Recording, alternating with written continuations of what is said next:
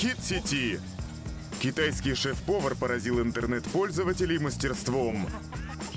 Он ловко подбрасывает обычное куриное яйцо лопаточкой, затем разбивает его в полете и делает омлет в форме сердца.